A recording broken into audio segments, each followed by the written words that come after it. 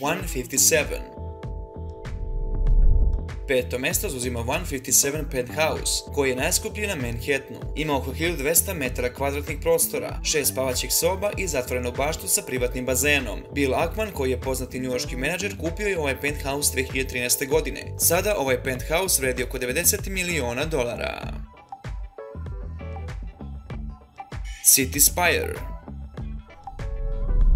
na četvrtom mjestu je još jedan njujorski penthouse koji nosi ime City Spire. On košta 100 miliona dolara i ima oko 1000 metara kvadratnih prostora. Ima šest spavaćih soba, devet kupatila, trpezariju, konferencijsku salu i veoma elegantnu galeriju. Njegov unikatni aspekt je prefinjeni vinski podrum u koji može stati oko 1000 vinskih flaša.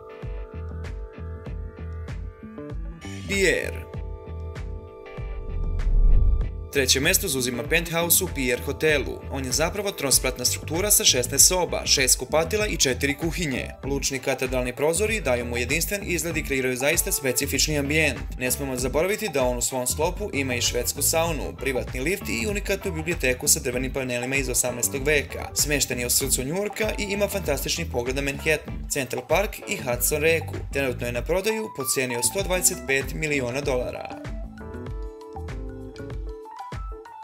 One Hyde Park. Na drugom mjestu nalazi se One Hyde Park Penthouse, koji ima površinu od skoro 2000 metara kvadratnih i koji se nalazi u Londonu. Ovo je veoma specifična nekretnina, koja je u posljednje vreme često u centru pažnje. Penthouse ima pet spavaćih soba, radne sobe i podzemni pasaž, koji vodi do Heston Blue Mental restorana. Još jedna unikatna pogodnost ovog penthouse jeste da su njegovi stanari pod stalnom zaštitom britanskih specijalnih snaga. Ovaj penthouse košta preko 200 miliona dolara, a ukrajinski milijarder Rinat Ahmetov kupio ga 2011. godine po cijeni od 214 miliona dolara. Od maja prošle godine on je opet u prodaji to po cijeni od 255 miliona dolara, što ga čini najskupljom nekretninom u Britaniji. Sky Penthouse